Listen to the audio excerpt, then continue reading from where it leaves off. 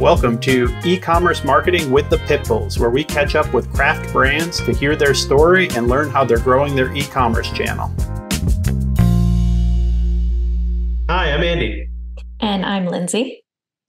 And today we are joined by Norm Farrar. Norm, I'm pronouncing that right? You are. Excellent. Norm is the uh, host of the popular podcast and uh, video series Lunch with Norm. Um, he has, uh, I guess I was going to say over 20 years, but uh, I guess it's over 30 years at this point, um, wow. going back to the 1990s, uh, working in the e-com space. Um, does a lot with Amazon, Walmart, uh, e- retail, I should say um, and has worked with a ton of Fortune 500 companies, including Coca Cola, Mercedes Benz, and 20th Century Fox. Um, so, really, just a ton of experience. I can't wait to dive into this conversation. I think there's uh, a ton we can catch up on here, Norm. Yeah, I'm looking forward to it as well. Awesome. All right. Um, so yeah, so you know, I gave a little bit of an intro there, but uh, why don't you kick it off by um, just letting our our uh, audience know a little bit more about yourself and kind of what you're um, really focused on these days. Well, I am an e-commerce fossil. Uh, back in the 90s, that's when I got started, just by accident, and have been heavily involved ever since. Uh, I've got a probably a, really great, I not probably, I do have a great uh, uh, source of knowledge when it comes to manufacturing uh, came from a manufacturing background. So I, I, was able to take that, take some of the e commerce uh, experience that I have over the years and kind of put it all together. So uh, that's uh, kind of all that I can really say about that. Um, I do have a, a, sourcing company as well. So what I, I think one of the main things that we have to do is find ways to be more profitable. And from what I've always found is the profit is really in the sourcing. So being able to take that, uh, get the best product at the best price, and kind of chip off a percentage here and a percentage there, you can really enter into the at least the Amazon game um, with a bit more profit in your pocket than your competition. Um, so, and one of the other things we we got talking before the podcast, and I wanted to talk about a certain uh, topic today. But probably one of the most important topics right now for all of e commerce is perceived value. And you are only as good as how you're perceived. And you can double, triple, quadruple your profit, no profit problem, just by coming out at, with a perceived value. And there's typically three di- different levels of perception on Amazon bottom dwellers, usually the Chinese, you know, a lot of bottom dwellers, the average and then the high. And if you can take advantage of the sourcing, come out at a higher level, better pictures, better quality copy, better everything, uh, then you can make a lot of money. Awesome. I love it. I feel like there's a ton to unpack there. Um, yeah, I really like that that focus on you know, I guess I would sum all of that up kind of as margin and kind of looking at it from both sides. But that's one of the biggest things where we're really focused on e-commerce. We do a lot of Google ads and you know a lot of times, especially from like a Google shopping perspective, not dissimilar from uh, the Amazon world, you know, really price point and perceived value become really important. And it's not so much we're not bidding a given you know cost per click anymore we're typically bidding on a target roas or a target cpa which gets to you know what's the margin and what what can you um, you know what cost from an advertising perspective can you can you absorb? So one of our favorite things to do as we start up new clients is to kind of look at that you know marketing spend as a percentage of you know the total margin left over there. So you know total cost to create a product, get the product to the warehouse, get the product out to the customer. Um, you know, really everything it takes to truly deliver an order. Um, you know, and then subtract that number from you know the the you know average order value. And I, I think that's I love that you kind of take that from both sides. So it's not just price point, which is important, obviously. It's not just the sourcing side, which obviously is very important as well. Um, but yeah, kind of taking that holistic approach to how can we make that that gap as big as possible? Because that's really um, you know we talk a lot about marketing, but your marketing is not going to be successful if you don't have a reasonably sized gap that you can afford to spend some marketing dollars in there. Right. Uh, yeah. And that's probably one of the biggest failures. If you're not properly capitalized, how are you going to succeed on Amazon or in e commerce? So you've got to have that. A lot of new sellers forget about that part of it, the thing called marketing. you know, they throw it all into inventory. And then when you have it in in stock, well, I've run out of money. And I've seen that so many times. Definitely. Definitely. Yeah. Um, so tell us a little bit about this. So you're, you're really focused in on perceived value right now. You mentioned yes. some of the items, you know, the the image that you're shooting, um, some of those other things. We we really like to focus on brand and, and storytelling and making sure that you know you're explaining what it is that makes your product so special. Um, tell us, do you have any specific strategies or anything that that you like to focus on in that area? Yeah, I, I can actually give you a, a, nice case study that uh, that happened and it was with a knife company. So there's a lot of knives out there. Is it saturated? Well, everything's kind of saturated, but um, I'm really, and I don't know about you, but as long as you have a good quality brand at a good quality price, so that could be a very high perceived value price or a very low bottom price, wherever you want to come out. But I'm not really too scared about competition. This was a new seller, a new seller being uh under a year old and doing quite well. They were selling around 1,700 knives, but they came out at a really low. Um, there was two knives, one that was selling at $29, the other one that's selling at $49.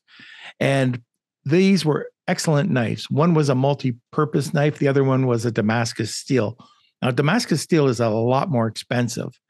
And he had 1700, he was selling on average 1700 knives at 24 bucks and he was also selling not as not quite as many about a not quite not near as many uh, at uh, at forty nine dollars for the Damascus steel. It was forty nine bucks. The competitors, when you take a look at it, I'm going to go back. Remember when I said about the, the the three different tiers? Every search that you do in Amazon, you're going to see that there's three levels of search. You're going to have your products that really cannibalize the profit you know cannibalize each other. They just want to do volume and they're making nickels. Um, and usually people can't survive doing that. And, and that's usually new sellers just trying to compete to get sales. Then you've got the middle. In the middle are these prices that come out. And i'll give you an example dead sea mud. I did this uh, for a presentation i was doing the other day. It was co- the bottom dwellers were coming out for 8 to 16 ounces uh, $7 to $14 believe it or not then there was a secondary level, which came out at around the 20, 24 to $49 level. It could go a little higher. And then there was the third that went from uh, 70, 74, 75 uh, up to over $90. Now, here's the difference the high perceived value was only 3.5 ounces. Now it's Dead Sea mud. It comes from the Dead Sea and it's mud how can one be six bucks and how can one be 95 bucks? Complete perception. And so I'm going to give you this with this knife. So the knife, I'll con- let's concentrate on the uh, the $49 one. So the you could come out at that 49 to around a 60-ish range, $69 range. And I looked though, but it was way out of whack when I bought the knife because I wanted to get that customer experience. Well, it sucked. It uh, it came in a plastic box with a uh, cardboard backing. It looked like something cheap out of China. So I, I asked uh, the client. I said, "Well, would you be open to repackaging it?" Sure, no problem. So we created an outer box. We put it hard cardboard, uh, like a rigid box on the inside. It was it had magnetic clasps. We took EVA foam and die cut the knife, put it inside, had another piece of foam that covered it and had this welcome message when you opened up the flap. So now it looked pretty classy. And the knife uh, was acid etched, uh, and the rivets going onto the into the knife were acid etched, and it was embossed. the The outside of the one box was white with a full color process, like silhouette, just like a um, an iPhone box, and then a full color process in the back. So when somebody got it, it was anticipation, just like the iPhone box. You opened it up and you want to see the knife. Then when you opened up the second one, you popped it up. We didn't allow them to see the knife. We wanted them to to take it, have that anticipation of seeing the knife because it was $49, whip de doo. and then we uh, we said, okay, well, why don't we try putting it up? Uh, and you know, he was ten dollars. Okay, let's put it at fifty nine. Then let's let's put it to sixty nine. We didn't drop any traffic. Uh, let's put it to seventy nine. Let's put it to 89, 99. Let's put it to 124. And so now, if you go onto Amazon right now, the brand sells between 99 and 124. We've put up the cost by just a buck or two, not even a, a two. It was about a buck 25 in packaging. And the landed cost was $16. Now, that's not bad. That's great. On top of that, he didn't drop much traffic. So that was the key. So what I found was people didn't want cheap, crappy knives from China. They didn't even want the medium size. They wanted the higher ticket item because this is uh, people who are going to buy a good quality um, uh, chef knife, a Damascus steel knife wanted quality. If you didn't want the quality, you could go to a multi-purpose, you know, steel carbon knife and pay 29 to 44 bucks. But we we also played around with that knife, but it wasn't as as as good as uh, this one. So then we decided, okay, let's go back to the manufacturer. Let's see if they have any uh, any thoughts on this. So could we get something at $16, but we can sell at a higher rate? And he he said, well, we have another one that we hammer the steel. So it, it does look like it's got a higher perceived value. And we went, all right, let's take this knife, let's put a different uh, handle on it.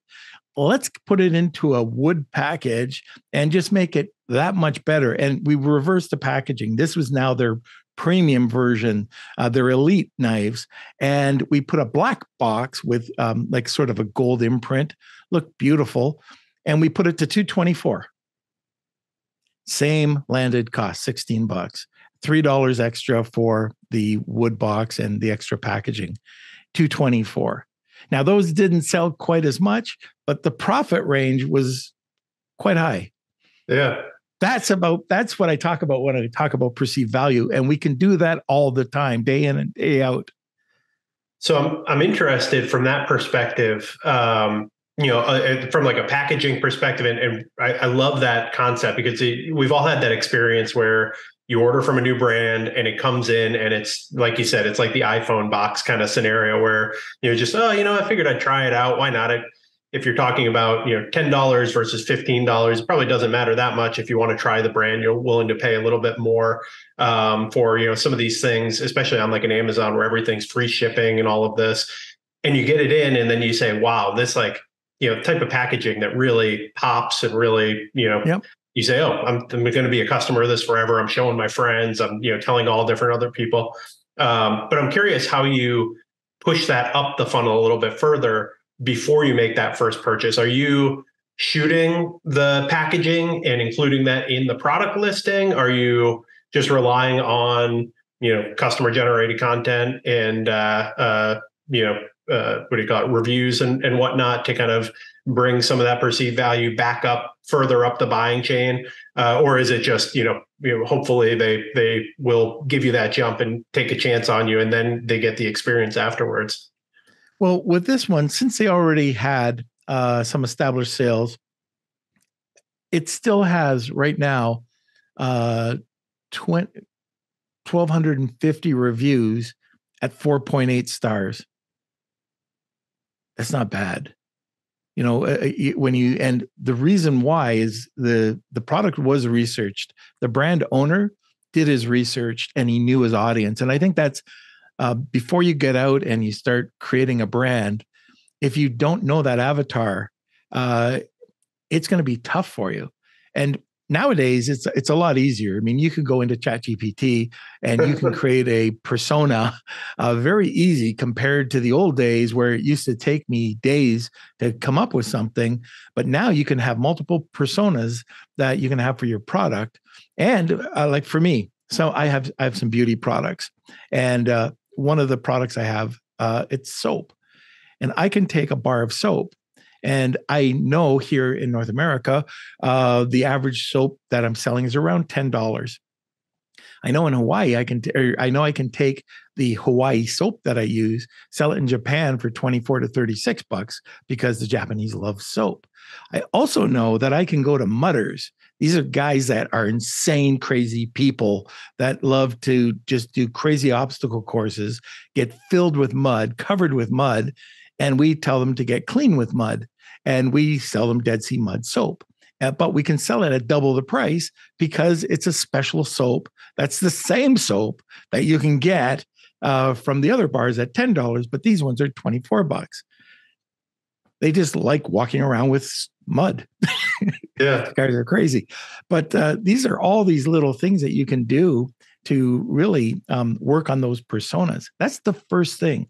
Take time, understand the persona, and then even dig a little deeper what uh, I've got um, a product just behind me that a, uh, uh, a, physiotherapist came up with.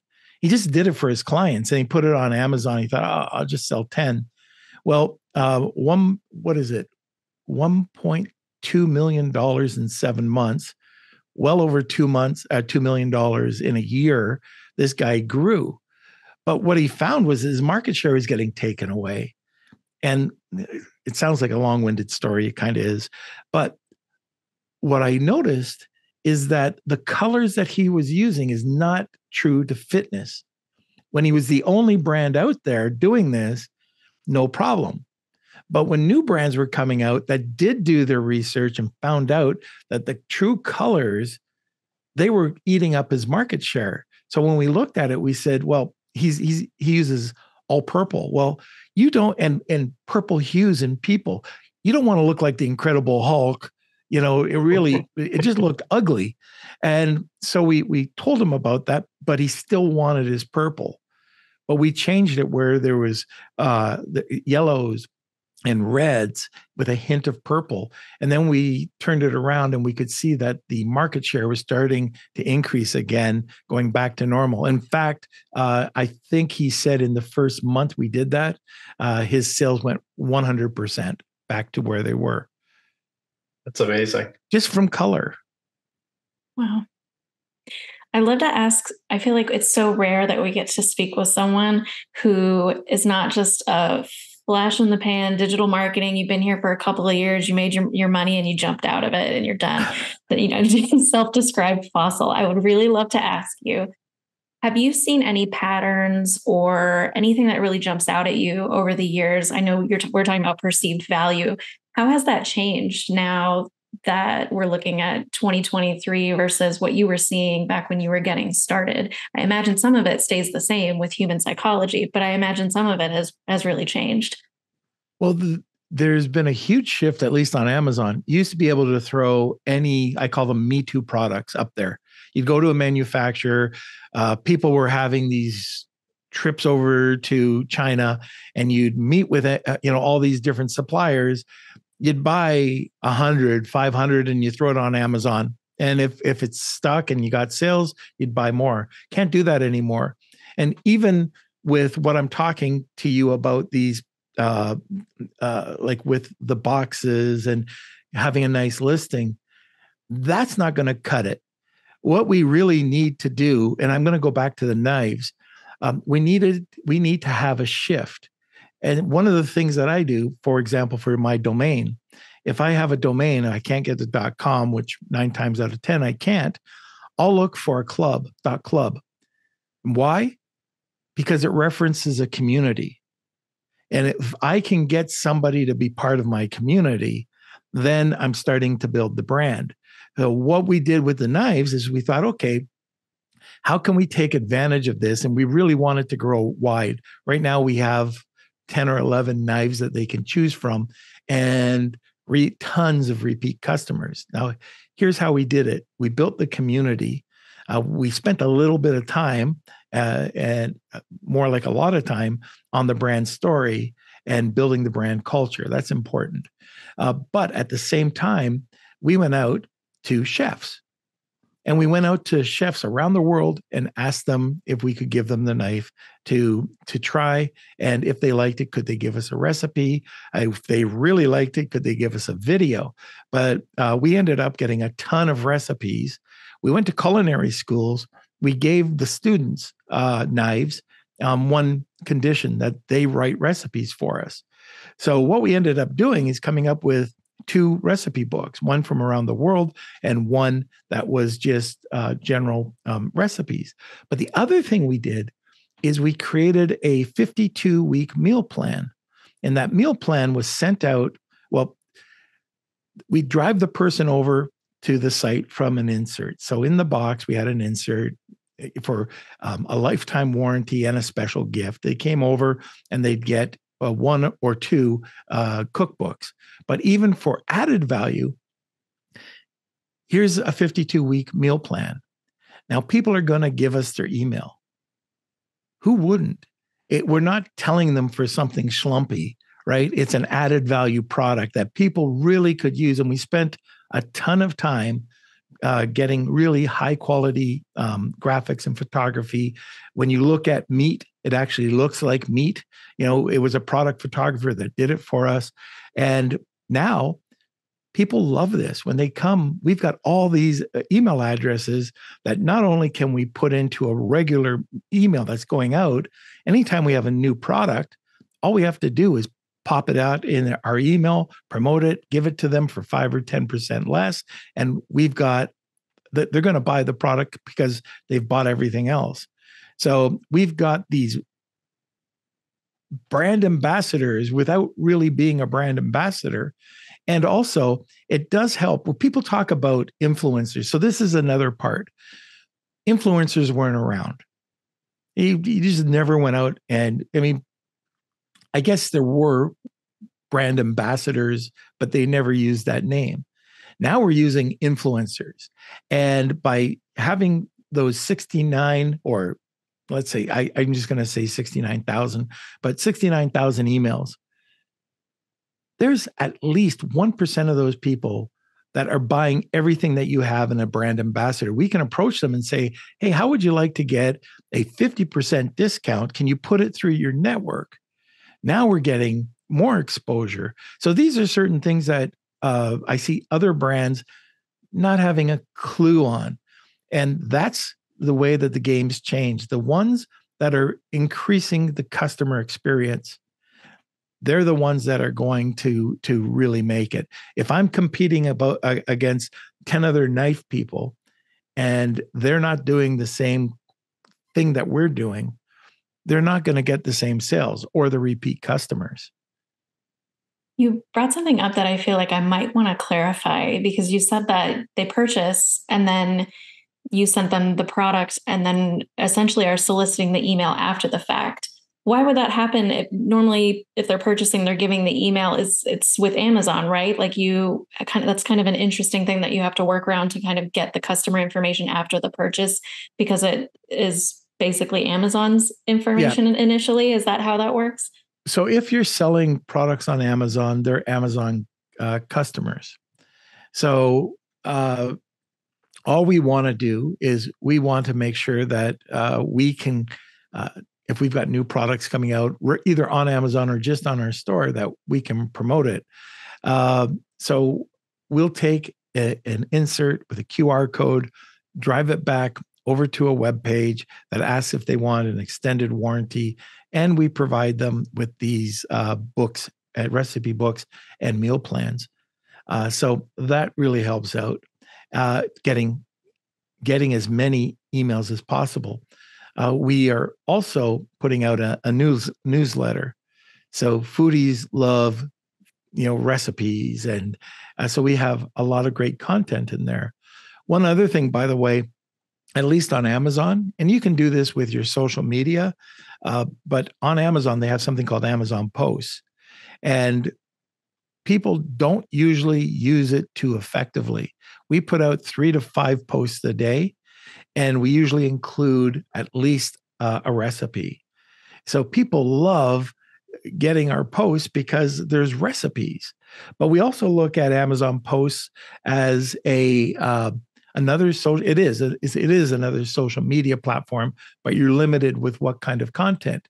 But we know that we can have at least 5 to 7 different types of content that's uh, that goes out there from polished images you can feature uh, the features the benefits lifestyles recipes and you mix it up. And what we found is that people definitely like the recipes but unpolished lifestyle pictures people go crazy over.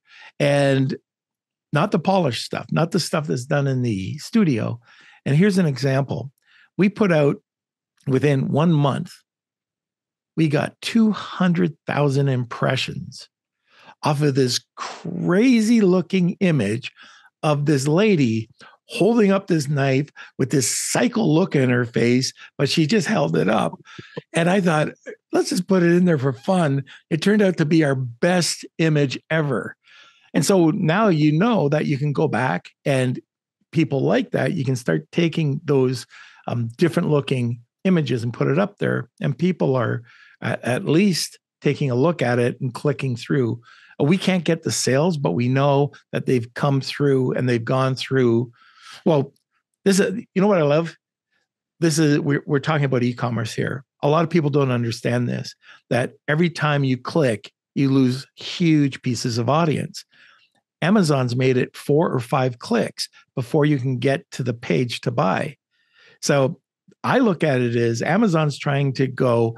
So you see the post, you click on either the logo or the category or the image, you go over to the brand feed, you click on it to get the summary. You click on the summary to go to the product page, and then you can buy. Why are they doing that?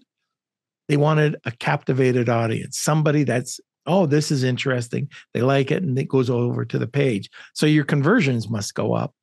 I don't have any proof that they do, but they've got to go up. And if we're putting out um, posts that now the average is around two to 3,000 image uh, impressions, not 200,000 because there's a lot more, but we're getting a lot more than the usual. And if you're doing that three to five times a day and you're getting just two sales a day, you know, it's, it's doing great. And the fact is you can post just for 14 days. And I guarantee you, if you go back one year later, you're going to see that those posts that you've put in have definitely gotten you sales because you'll see the amount of impressions and the amount of people who have clicked over to your your listing. It's crazy. That's awesome. I feel like that's a nice like uh it's like a new area, right? Everybody always talks about like how Facebook ads used to be so powerful five years ago, but now they're, you know, as it's getting a little oversaturated, they're getting more expensive. And it's not just like the kind of, you know, free money that it once was. It's it's nice to kind of hear about these kind of new new areas where if you get out there a little bit early, I don't know if that's, you know, still a growing channel. Um, but if you can, you know, take advantage of it now, you know, there might be still some some room to arbitrage in there. Yeah, uh, definitely. Uh, there's and uh, I'm going to go down a different rabbit hole here for a second, but if you want free traffic, uh, really free traffic. And I'm not talking Google Shopping, but within Google Business Profile, if you go down and add your photos and add a link to your Shopify page, to your Walmart page, to your Amazon storefront and your Amazon listing, well, guess what? These are shoppable videos that you can do for free on Google. Now, are you talking? So we're talking. Is this like the through a merchant center scenario, or are you talking about the Google My Business profile directly? Google Business Profile directly. Awesome.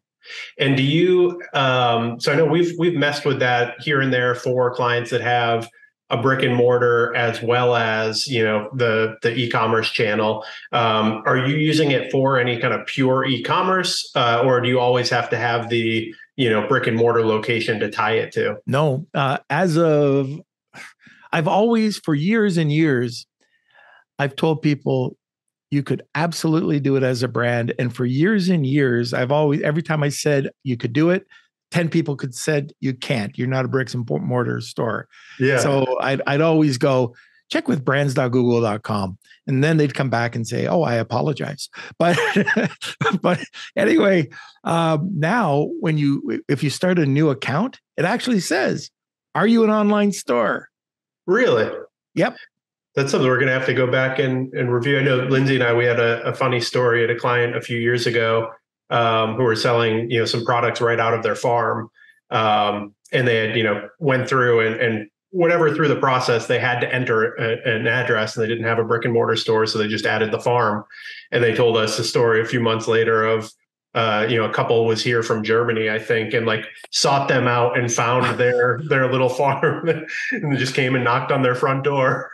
oh, that's that's so, good. That's so hilarious. It's a, it's a business, or it is a business, but it's not that kind of business.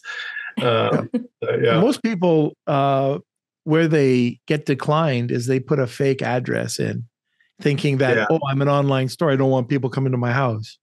well, you have to do it. You have to put your address in, and uh, look at Google recognizes post office box. Even if you say it's an apartment or a unit, uh, they're going to nail you and they're going to decline you. So you can uh, put in like a home address and then yeah. just mark it as an online business, and that won't be customer facing. Yeah, and there's a checkbox. Don't show oh, address. So uh, the more information you can give, the better. And this also uh, an, another part that I like about uh, Google Business Profile is the ability to geofence. So you can, let's say you're that farm, you could sell specifically in a, a city, a region. Uh, you can go out as deep or as wide as you want. You can go nationwide, statewide, countywide, and you could just target 20 different regions and it'll only show the ads then. Um, I do have a, a really cool tip. Uh, not too many people know about this. So if you're in Google My Business or Google My Business, Google Business Profile, and you're filling out your description and you're filling out your contact information, um, the, the one of the tabs is going to be talking about the time you're open. So everybody that's online goes 24 7. That's the worst mistake you can make if you only leave it as 24 7. So, what I tell people to do is go in, find statutory holidays, find everything that you can think. Canadian holidays, if you're coming to Canada, if you're going into the US, pump them all in there. So you get to tag all these, you know, these uh, holidays. Well, what happens to your competitor if it's 24 7 default and it falls on Thanksgiving? Guess what's not being shown? And if you show that you're open, guess what's being shown? So it's 24 7. Leave it as 24 7, but make yeah. sure to update that you're you're open for these different holidays and different yeah. things. Because so just like uh, and, and we came across this a couple years ago when it just came out for food. My kids came in. So we were looking for a place where we kind of met in the middle. Nobody knew where any restaurants were. So we started looking around. We had one that we really liked and it it said that it were they were closed, and it was um it was one of the holidays.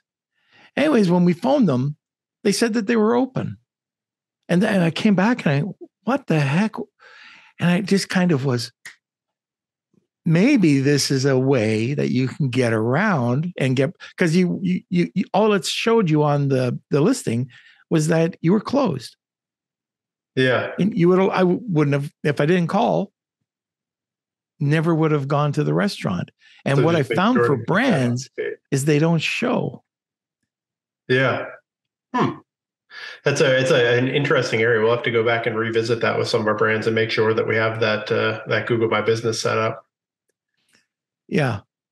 I think one, one thing, thing that oh go ahead. Take it away. You got it. Uh, one thing I think is an interesting point that I feel like is maybe like a thread throughout what you're speaking about is being an early adopter to some of these um, different initiatives that Amazon posts and Google's different it changes constantly on their offerings. And I think a lot of times business owners are like, I'm too busy. I'm getting an email from Google that says, try out this new feature that we've got or sign up to be an early adopter for it. And they're like, I'm just too busy. I don't think it's going to give me any ROI. I don't know anything yeah. about it. I'm confused about what it means. I'm just going to delete this email and move on. Um, I think about, I used to work at a spa downtown here in Asheville. And it was at the time when Google was starting to really figure out how to measure people physically in stores. And so they could give that time frame of like, it's busy at this time, it's not as busy at this time and they were sell or they were sending um, local businesses free little trackers that you could put in your locations that would show how many people basically were coming into your store. And because they were offering it for free we were like okay we'll give it a shot. And i don't have anything other than anecdotal evidence to, to say this. Our listing was always up the top. We were always shown we were this early adopter to this new piece of technology that made it easier for people to see whether it was going to be busy in our store or not.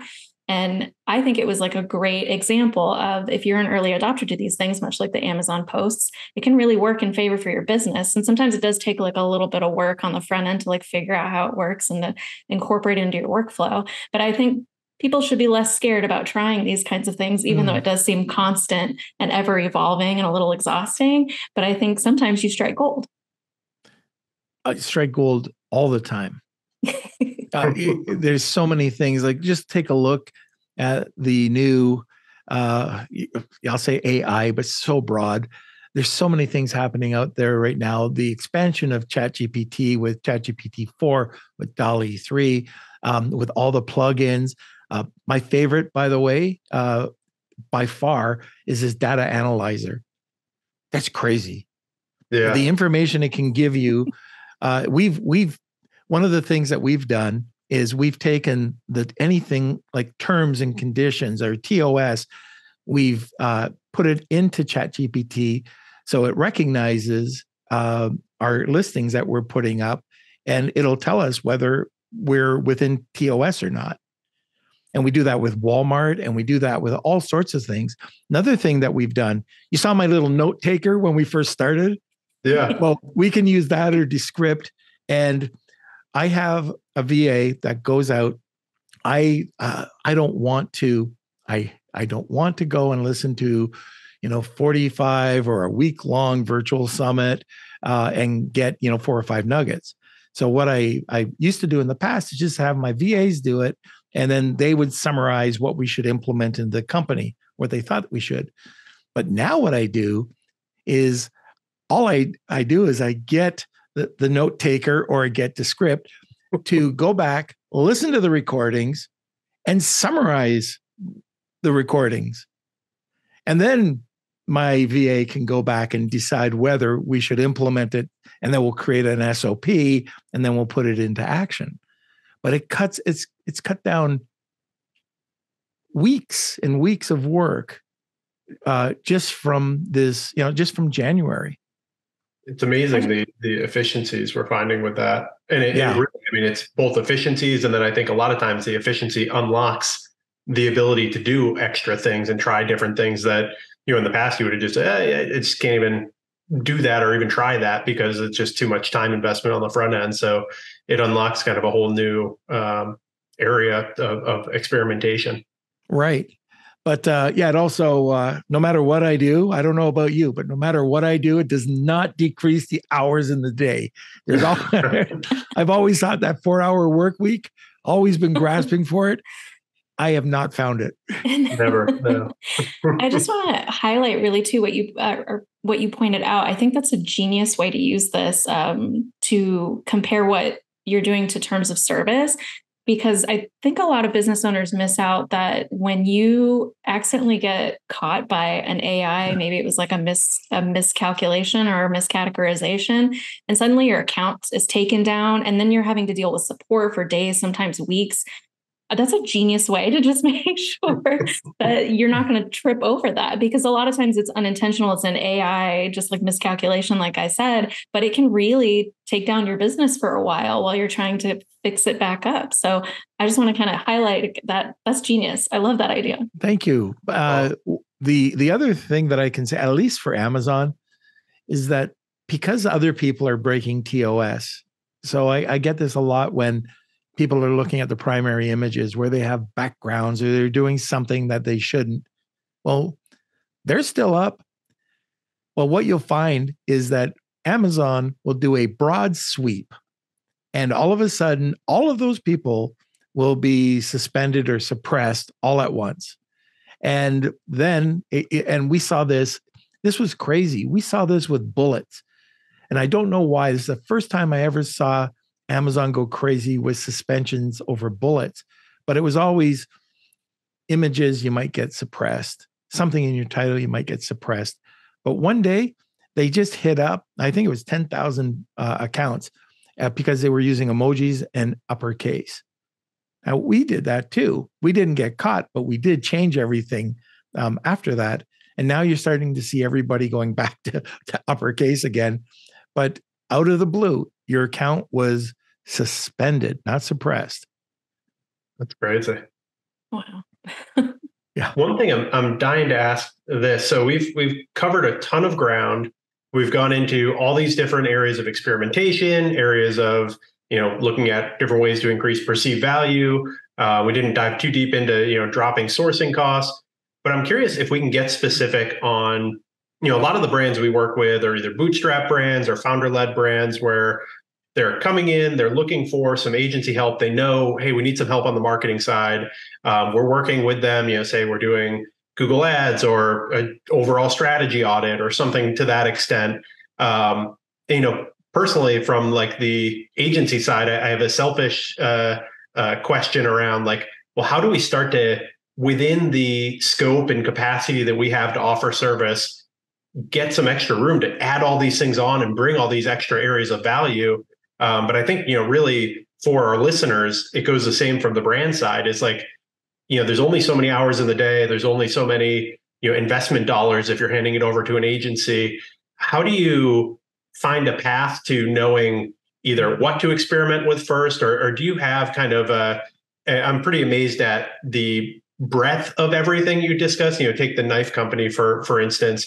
But at the same time, I'm sure you didn't just do all those things all at once. You know, I'm sure you weren't contracted initially to do all of that soup to nuts out of the gate. You know, how, do, how does that kind of relationship go, either for an agency or, or just thinking through, you know, the the the service offerings and the service um, the items that you should be checking off and experimenting with as you go.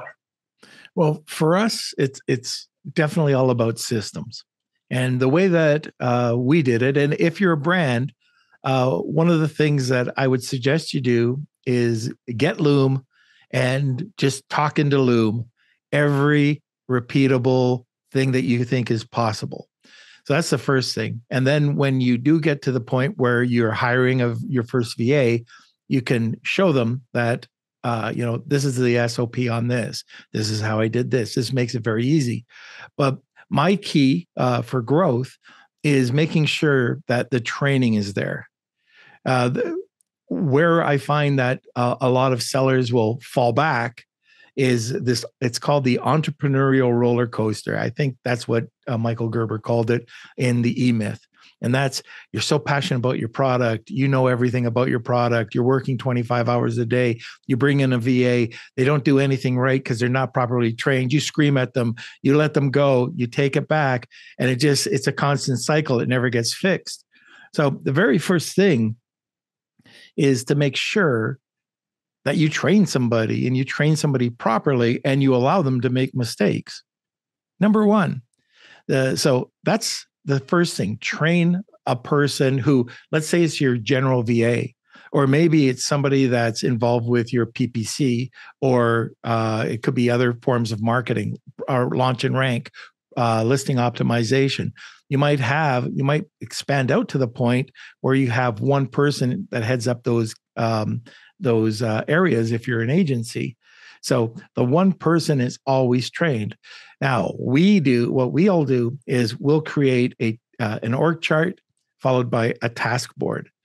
Every possible repeatable task is on that task board. Then we assign a dollar amount. So it's 10, 100, a 10, 100, 1,000, 10,000. So everything that we can possibly get out there and train goes out to those $10 jobs. We want those easy, repeatable tasks off our chest. And then the next one at 100, that might be a graphic artist. Um, the the the next, a thousand might be somebody in PPC. The 10,000 is you growing the vision of the company, networking, the strategy. Uh, so that's the first thing that we do. Then everything is has an SOP. I've got an SOP, and I shouldn't even call it an SOP. It's a policy and procedure. SOP is part of a policy and procedure for coffee. When you walk into our office, we had 23 people in the office. We all had to know how to make the perfect cup of coffee and why. And it was funny because everybody was, what this is so stupid. What are we doing? But then we realized that you had your buy-in. So the start of the policy. What's the buy-in? So it builds the culture. Everybody agrees. The prerequisites. What do you have to know to make a cup of coffee? Um, any um, uh, definitions. So, and I know with coffee, you don't have to do this, but definitions, then the SOP. And then the SOP has as many steps, not short steps. If, if you think it's going to be 10, it's going to be 20 steps. And then you have uh, the reporting and the quantification. So within that SOP, I like to take screenshots and I like to um, have these very long uh, SOPs because if somebody's going to make a mistake, you can zero it into step number 12 and then you can go back and train. So this is this is our biggest secret. Okay. And it's not a big secret. Everybody can do it, they just don't do it. We spend time with building out, or somebody, whoever's the head of the department, heads up building the SOP. They then talk to the person, um, the the the next VA or whoever we've hired, to understand it. They repeat it back. Then they are let they they go and they do their thing, and then once their first task is done, it's reviewed, and you can see what they've done if they've made a mistake. If they've made a mistake, you're not expected to, as the trainer, to fix it. You want that person to come back to you with the answer. Now, if it's wrong, that's fine, it's wrong. But you don't want to be the person putting out the fires. You want the trainee to come back to you so that they understand it. Uh, we have a three point system. The first one doesn't matter what it is. They and this has happened. A person's made a twenty-three thousand dollar mistake. It's educational, and I've had to eat twenty-three grand. And if I would have screamed and yelled at a person, I might have lost a really good person. We have a, I mean, there's one thing in our company: no screaming, no yelling. Uh, you know, we have to talk to a person as a human and let them make mistakes because they grow from that. And they have to be confident that they can come back and talk to you and not you know be worried that they might say something wrong. That's the first thing. But they come back they make the mistake. A first time it's educational no problem. The second time same thing it's educational. The third time that's probably not it's not your task to do this is not your strength something's up here but you might find during those three strikes is that it's Amazon that's changed. It's not the person's fault. You know, it, it's great that we caught on it, but that is the person who is supposed to be quantifying the task. So we'll put it every three months, six months, every month. Uh, and so there's a person responsible for cleaning up all the SOPs. Because what, how good is an SOP if it's a year out and it's a completely different interface. Completely different, yeah. You know, yeah. and then um, another area for us is uh, probably naming protocol is one of the most important things that you can do. Okay, where are they? We know we use a, a an uh, an app called Teamwork, and so with every client that we have, we have the where the SOPs are. So you go into the client, if you um, are writing a, a task list, uh, part of it is if you have not, if this is the first time, if this is the first time writing this task, uh, click here to see the SOPs. When you click on it, you go up and you see the policy and procedure. It's, it's PP and then whatever the code name is. Then you have the templates. Are there any templates associated with it? Then you have the training. And uh, so they have everything in one area. They have a video so they, they can watch. Some people are more visual, but it's so important that you have all that. And then that puts, um, the, I guess you could call it the tools for to succeed. They're there for the person to succeed. And by the way, everybody in the company, 100%, are taught how to write SOPs and how to better their own department. Oh, and the last thing I can add is that uh, we provide one hour of training regardless. It could be knitting. We hope it's about their job, but we have one hour of knitting per day that the um, that all of our uh, team works with. So they can go and take something in social media. They're doing something over in digital marketer. Uh, we pay for everything, and um, you know it just helps make our team excellent. I love that. I love that. Clearly, you've put enough thought. I was I was not expecting such a thorough answer from the project management side, and I think that is really telling. That like you know, it doesn't just happen. It does not like you're talking about these really cool tactical ways that you can improve different brands. And, you know, it almost seems unattainable to be able to knock all those things out, but it's all built up on that foundation of you've got to be able to offload tasks and you have to have a smart, smart plan in, in place to be able to offload those tasks. Otherwise, it's just not gonna it's not gonna happen. Like you said, I love that entrepreneurial roller coaster. You're gonna end up just taking it all back on yourself at some point if you don't put the time into uh, to train oh, yeah. up, develop the yeah. SOPs. Well, one other thing, if you you don't mind, I don't know how we're doing for time, but um, going back to VAs. So I've gone, and it really gets under my skin when I hear people talking about, oh, try to get this person. Like you guys are paying four dollars an hour. I'm doing it for two dollars an hour. Well, good for you. You're against everything that I'm a uh, I'm about when it comes to uh, VAs, and that is if I'm selling. If first of all, if there's 20 hours for a VA, I'm hiring them full time. If it's under 20 hours, then we'll just hire them up to. It could be just a project by project, but I really like to take people on full time, and when I go out, I usually um, find a company that vets them for me. I don't want to waste my time. Don't want my team wasting my time. I want good people. I get them vetted, and uh, it, costs a little bit, but I'm good with that. Uh, then, when we have them during the uh, the interview process, uh, we just want to make sure that they have a screenshot of their cell phone, uh, of their computer, and of their internet.